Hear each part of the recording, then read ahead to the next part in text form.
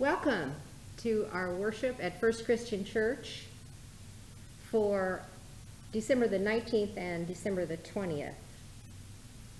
With me in the sanctuary today uh, are Pastor Sarju Jackson, Ron Beach, and Josh Beach, and I am Associate Pastor LeAnne DeTar Newbert. We welcome you here today, and we really thank you, all the guests, for joining us to worship as we approach the day we celebrate that our Christ was born. I do have uh, a brief announcement to make. You will notice that uh, Pastor Rick is not in the pulpit today and was not last week. We are grieving that he has had to step down from the ministry because of health reasons. And we all pray together for his speedy recovery. And we give thanks for those who can step in in his stead. You'll see on your screen some Zoom links for Bible studies if you'd like to join us in study. Or if you would like to join us to pray, call the number on the Zoom link uh, that's on your screen right now. And if you would care to give, that link also is appearing on your screen right now. And we most gratefully accept your gifts. We're in the hanging of the greens season, and this week we're in week four, the holly and the ivy. This is the fourth week of Advent. And Mary bore sweet Jesus Christ on Christmas Day in the morning. The line is from the car, carol, The Holly and the Ivy. The fourth hanging of the green symbol is the holly and the ivy. They are evergreen, as are the other symbols of the tree and the wreath. Looking at the holly, the sharpness of the leaves recall the crown of thorns. The red berries in the center represent Jesus' blood that was shed for our salvation. The ivy represents the Virgin Mary. As the carol continues, Mary bore sweet Jesus to be our Savior, for to redeem us all and for to do us sinners good.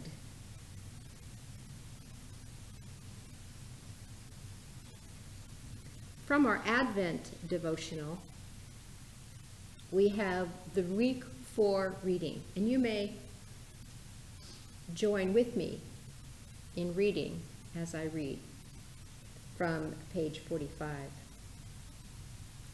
Today is the fourth Sunday of Advent, and we light the candle of joy.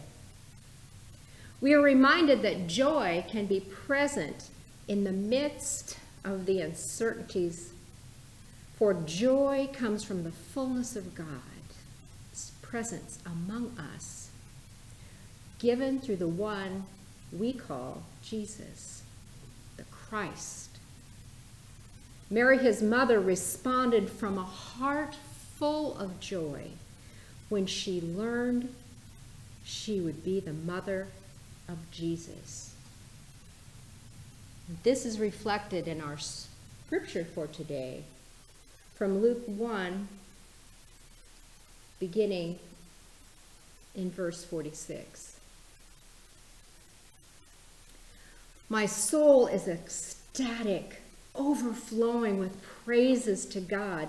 My spirit bursts with joy over my life giving God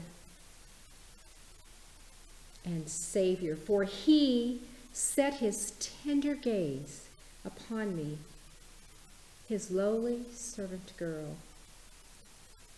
And from here on, everyone will know that I have been favored and blessed The mighty one has worked a mighty miracle for me. Holy is his name. Mercy kisses all his godly loves from one generation to the next. Mighty power flows from him to scatter all those who walk in pride. Powerful princes he tears from their thrones and he lifts up the lowly to take their place. Those who hunger for him will always be filled. But the smug and self satisfied he will send away empty. Because he can never forget to show mercy. He has helped his chosen servant Israel, keeping his promises to Abraham and to his descendants forever. That's Mary's song of praise. And like Mary, we rejoice in what God has done, how God has provided the justice that comes when love brings a smile to our face despite circumstances. Joy, joy, God's great joy. Let us light this candle. May its light cast out darkness, reminding us that the joy of the Lord is our strength.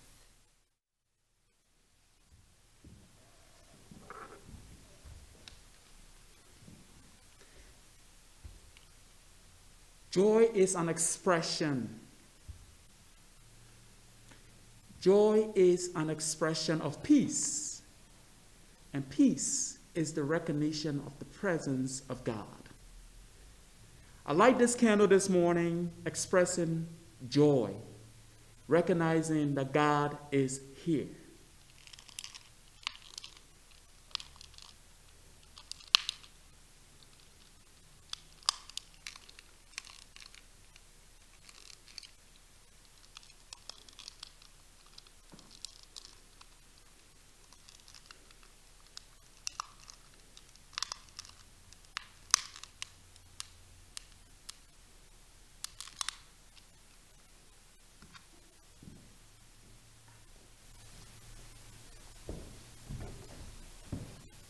Let's pray.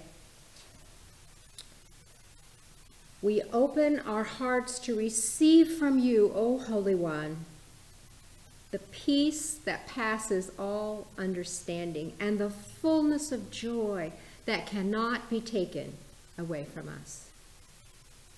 May your spirit and the love you gave through Jesus continue to fill our cups to overflowing with joy now and always. In the name of Jesus, we pray. Amen. After the sermon, we will have communion. You are all welcome to take communion from home using an element for bread and an element for the cup right at home. We welcome you to join us. We are disciples of Christ, of movement for wholeness in a fragmented world. As part of the one body of Christ, we welcome all to the Lord's table as God in Christ has welcomed us. Let us now prepare our hearts to be before the throne of God as we listen to Ross Wolf.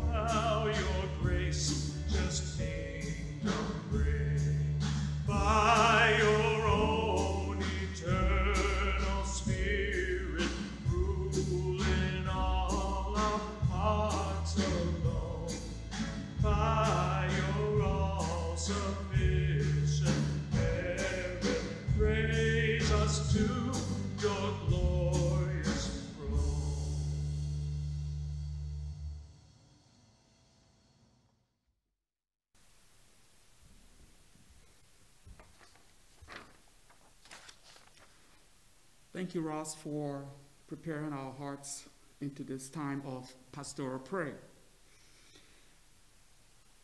As we finish recording last Saturday, the message for last Sunday, and as I watched the service last Sunday, I began to think more and more about peace and the Advent candle of peace. I spent a portion of my time thinking of peace, especially what Micah 5 2 to 5 has to say. Micah said that we shall live secure because we are fed by the one of peace. We have peace because we recognize the presence of the one who gives peace. We shall be saved because we acknowledge the shiny face of God. Let us pray. God of peace, here we are before you once again. Give us peace and joy. For joy is our way of expressing peace, and peace is our way of recognizing your shining face. Bring your people together in joy as we worship you. Touch each heart this morning. Take away the pain of sorrow and restore comfort.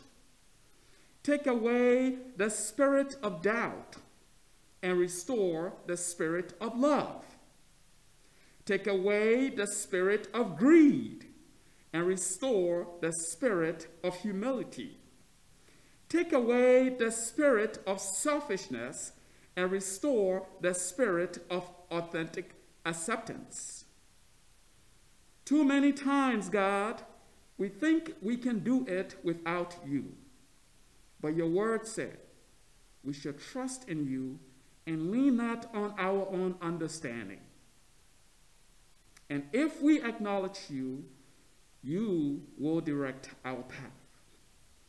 I pray for our members who are having health issues this morning. God, there are quite a few of them on our list this morning. I pray for them. I pray for your healing hands and your healing spirit to touch them this morning. I pray for our members who are having financial issues. And yes, we may not know that, Lord, but there are some of our members who may be having financial issues. But not only our members, Lord, there are quite a lot of people who are having financial issues. God, some of them have lost their jobs. And some of them are about to be evicted. I pray to you, God, that you give them that which they are looking for right now. Restore to them, God, your glory. I pray for the ones who are having family issues. I pray that you restore lasting peace within their family. I thank you this morning, Lord, for our nation and for everything that is happening in our nation. I thank you, God, for the development and God for the pronouncement that there is a vaccine to help slow down the spread of a pandemic that has taken over the lives of too many people. I pray to you, God, that we too will do a little part and that help a little bit. Do our portion, God, to follow what our leaders are asking of us. Thank you, God. I pray to you, God, and thank you. For with you is the fountain of life, and your light do shine, and we will see your light and your glory. God, we pray all these prayers this morning, just also as you have taught us how to pray. Our Father, who art in heaven, hallowed be thy name. Thy kingdom come. Thy way be done on the earth as it is in heaven. Give us this day our daily bread, and forgive us our sins, as we have forgiven those who have sinned against us Lead us not, Lord, into temptation, but deliver us from evil. For thine is the kingdom, the power, and the glory forever. Amen. I'm very humble this morning and very pleased to introduce to you all Cherise Benton and Fran for a special music.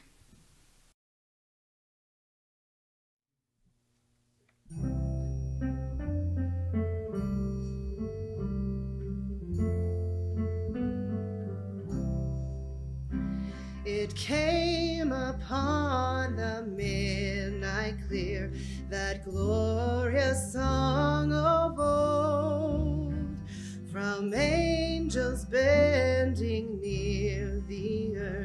to touch their harps of gold. Peace on the earth and goodwill to all from heaven's gracious King. The world in solemn stillness lay to hear the angels sing. Still through the cloven skies they come with peaceful wings unfurled, and still their heavenly music flows all the weary world. Above its sad and lowly plains, they bend on hovering wing, and ever o'er its Babel sounds the blessed angels sing. And you beneath life's crushing load, whose forms are bending low, who toil along the climbing ways with painful steps and slow. Look now for glad and golden hours come swiftly on the wing. Oh, rest beside the weary road and hear the angels sing. For lo, the days are by prophets seen of old, when with the ever circling years shall come the time foretold, when peace shall over all the earth its ancient splendors fling, and the whole world send back the song which now the angels sing.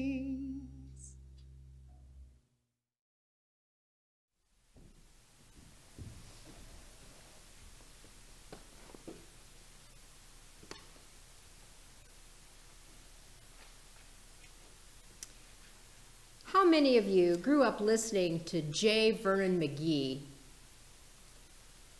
and his radio show called Through the Bible? Did you get on the radio bus or the Bible bus for that four years as he went through the Bible over and over and over again? At the opening of each radio broadcast, the words to this hymn was were sung. How firm a foundation, you saints of the Lord, is laid for your faith in his excellent word. What more can he say to you than he has said? To you who for Jesus, who for refuge to Jesus have fled. This hymn always caught my attention because of the strong male a cappella uh, voices and the harmony. But the first two lines were my hook.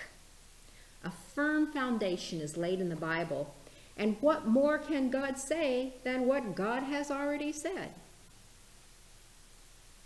That's where we will start today with our Song of Mary in Luke.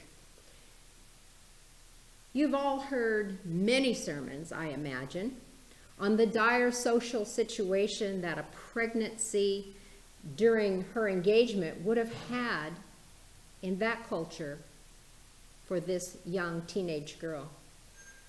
We know actually little of Mary before she received this important acknowledgement from God, but her response to the entire astonishing situation tells us much about her past. Mary must have been immersed in the Hebrew Bible, our Old Testament, at Elizabeth's joyful confirmation that Mary was carrying the Lord of Lords. She responded with a spontaneous song, the scripture we read today, that is made up of passages of six different Psalms. Mary knew the scriptures so thoroughly that she expressed her joy by reciting them. She knew Israel's story and she knew the promises that were to come. The passage says that Elizabeth was speaking out of the fullness of the Holy Spirit. But apparently, Mary was speaking out of her solid knowledge and firm foundation of Scripture. She was steadfastly grounded in the scripture. They were her bedrock that allowed this awkward social circumstance to be viewed from a servant's perspective, willing and able, even if not understanding what was being asked of her. I recently read a this statement in my devotional. The Christian life is hard work. Not the Christian life is full of hard works, but the Christian life is hard work. What? Aren't we transformed in the moment that we believe in Jesus as our Savior? Completely new creature in Christ? What about being this transformed creature re- involves hard work of a Christian life. I think we can find some answers from both Jesus and James. Matthew records Jesus as saying, Therefore, whoever hears these sayings of mine, the word of God, and does them, I will liken him to the wise man who built his house upon the rock. Hearing and doing has something to do with building. And most building is hard work. Jesus was explaining that we must build the word, uh, words of God into our lives in a systematic, planned way. Our transformation, when we come to believe in Jesus, allows us to have the eyes to see and the ears to hear spiritual truth. Truth by truth. We build our foundation for spiritual growth and maturity. Well, how does this happen? How do we actually build that firm foundation, one like Mary had? James puts it this way in his letter Do not merely listen to the word and so deceive yourselves. Do what it says. Anyone who listens to the word but does not do what it says is like a person who looks at his face in the mirror and then, after looking, goes away and immediately forgets what he looks like. now, I will be the first to admit that I have listened to some sermons and then have not been able to recall what was in them by lunchtime. Um, anybody else with that confession? We have the distinct advantage of being able to listen to the word being read or preached on our phones, on our televisions, on our radios, on our computers. Just about anywhere, we can hear the Word of God. I would say we have no lack of biblical resources and really no excuse for not hearing what it says. Hear and do, says Jesus. Listen and do, says James. I believe Mary still teaches us how to do this in our age. How do we live this life like Mary? A life of humility, obedience, belief, and submission to God. Well, first, we just have to pay attention. Every word of God we hear has a purpose. In Isaiah 55:10 it says, "As the rain and snow come down from heaven, and do not return to it without watering the earth and making it bud and flourish, so is my word that goes out from my mouth, it will not return to me empty, but will accomplish what I desire and achieve the purpose for which I sent it. It was sent for a purpose. James cautions, cautions us not to engage in self de deception about our obedience to God's word by just dutifully listening as if you were not encountering something very, very important. There is nothing more important in your life than to contend with the Word of God and thus contend with its author. His Word penetrates our mind, our soul, our spirit. So even our thoughts will know when the Spirit is speaking to us as you listen to or read scripture, ask the Holy Spirit, Am I doing that? What does my life look like compared to this passage? Am I called to a new obedience or belief? Is disbelief or sin in my life being pointed out?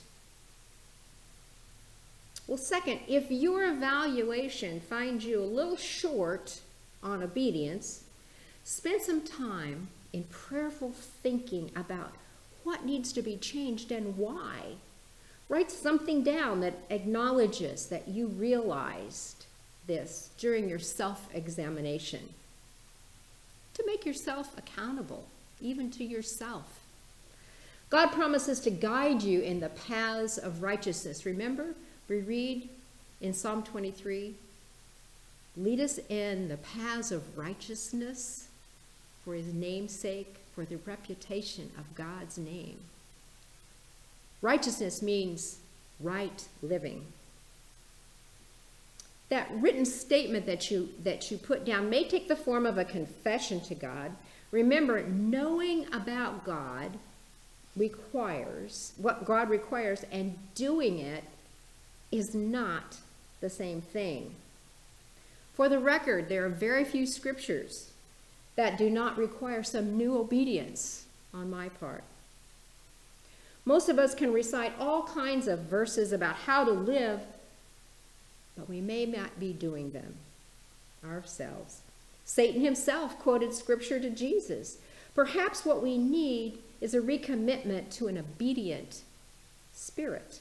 This kind of holy self examination should not take long for most of us. We know very well where we are disobedient.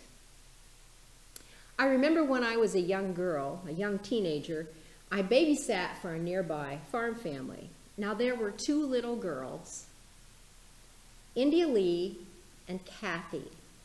India Lee, the older daughter, was sweet and compliant, but Kathy, Kathy was a challenge. She pushed every limit. Once, when I caught her obviously lying, something like this No, I am not holding a candy bar. I asked her, Why, Kathy, have you lied? She staunchly claimed, I only lie when I have to. I have never forgotten that excuse for lying. Perhaps it's a more honest way of expressing our disobedience. I'm only disobedient to God when I want to be. Said out loud, it does ring hollow, doesn't it? Well, next, we focus on one thing that has penetrated your heart and soul. It's likely something that the Holy Spirit was trying to get your attention about anyway. Commit prayerfully to asking God to point out opportunities to start this transformation.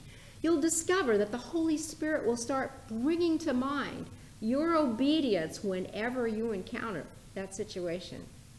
Your foundation is laid when you exercise your will to bring it in line with what you know the Lord wants you to do.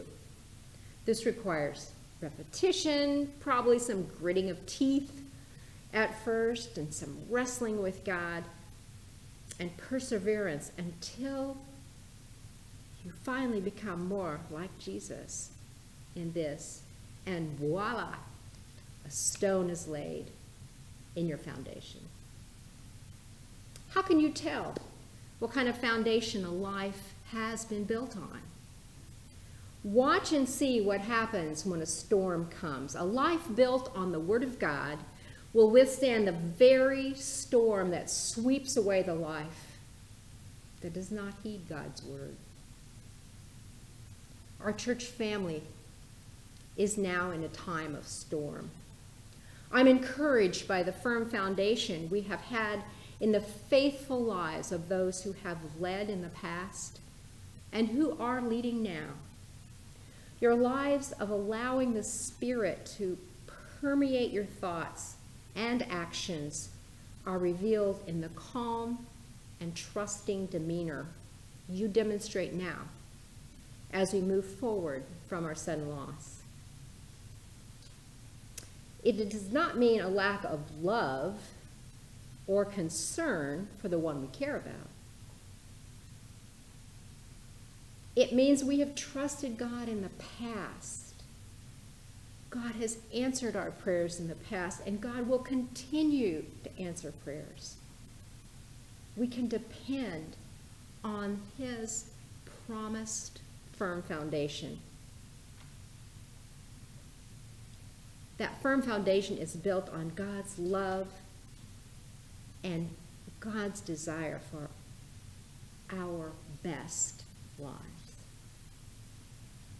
Well, the, reser- the result of this hard life of spiritual work can be summarized, I think, by Paul's spontaneous statement of praise in Ephesians 3. Why do we do this hard work? Paul tells us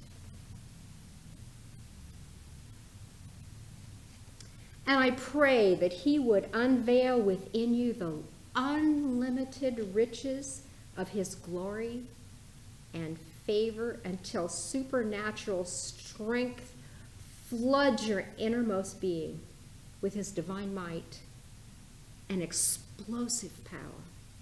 Then, by constantly using your faith, the life of Christ will be released deep inside you and the resting place of his love will become the very source and root of your life. Then you'll be empowered to discover what every Holy One experiences the great magnitude of the astonishing love of Christ in all its dimensions. How deeply intimate and far reaching is his love how enduring and inclusive it is. Endless love beyond measurement that transcends our understanding. This extravagant love pours into you until you are filled to overflowing with the fullness. Never doubt God's mighty power to work in you and accomplish all this. He will achieve infinitely more than your greatest request, your most unbelievable dream, and exceed your wildest imagination. He will outdo them all, for his miraculous power constantly energizes you. This is the foundation of joy that Mary felt, expressed so beautifully in her song. This trust allowed her to trust in what the Lord was doing in her life, in spite of its tough cultural implications. It is the joy that you can have too. Good measure, pressed down and shaken together, poured into your firm foundation. Hear and do. Amen. As we prepare our hearts to meet here at the table and take communion with the Lord, Ron will play O Little Town of Bethlehem.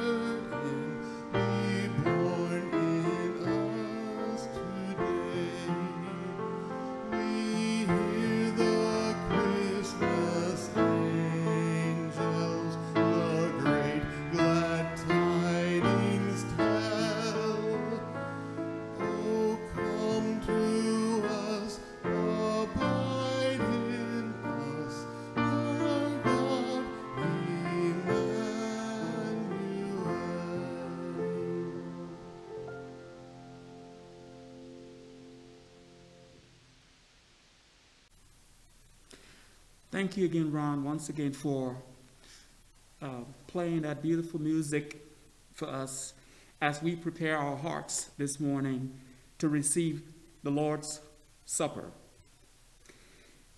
Scripture tells us, For I received from the Lord what I also passed on to you. The Lord Jesus, on the night he was betrayed, took bread, and when he had given thanks, he broke it and said, This is my body, which is for you. Do this in remembrance of me.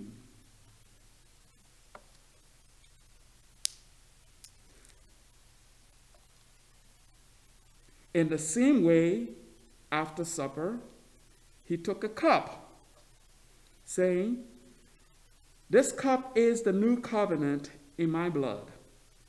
Do this whenever you drink it in remembrance of me. For whenever you eat this bread and drink this cup, you proclaim the Lord's death until he comes. In these few verses read, the central motif in this verse is remembrance.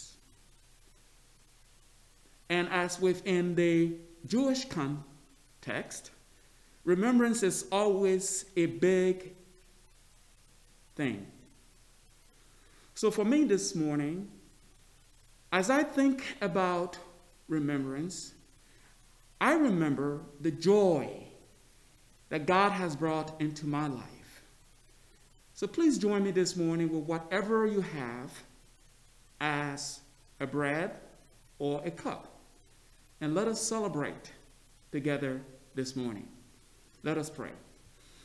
God, we thank you this morning for your body and your blood that was broken and spilled on our behalf. We remember you, God, and we remember you that we are experiencing joy because of what you have done for us. Thank you so much. We bless you and thank you for everything. Amen. Let us partake together.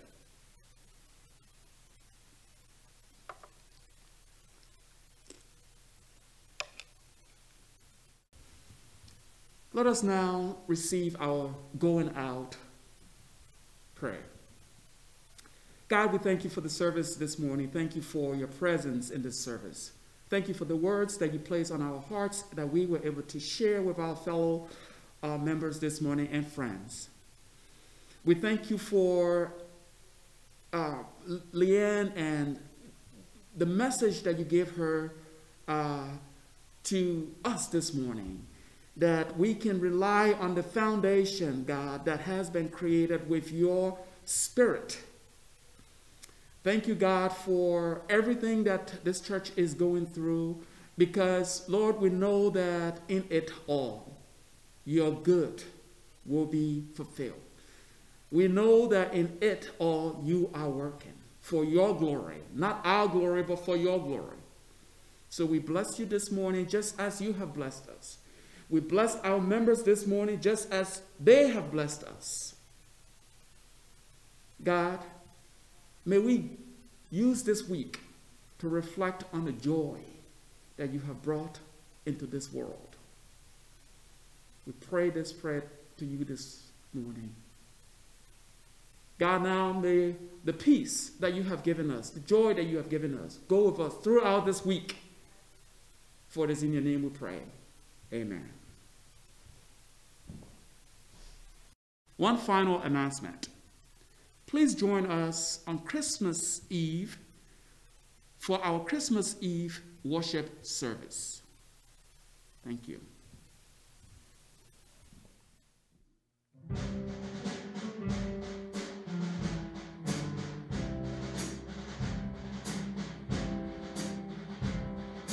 Joy to the world, the Lord is come. Let earth receive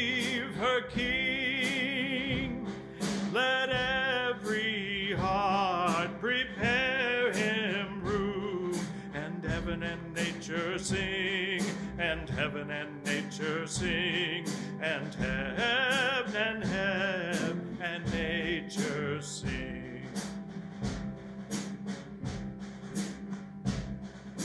Joy to the world, the Savior reigns. Let men their songs employ,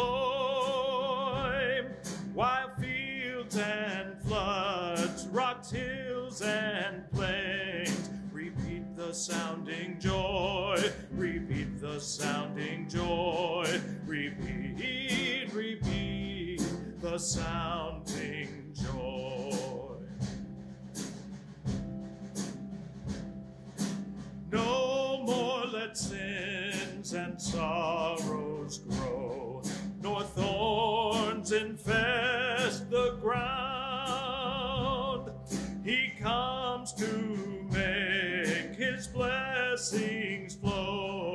as far as curse is found, far as the curse is found, far as, far as, far as the curse is found.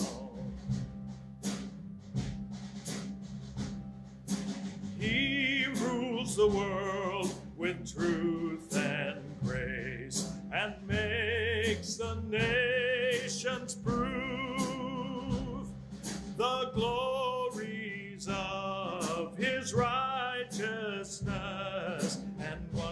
of his love and wonders of his love and wonders and wonders of his love.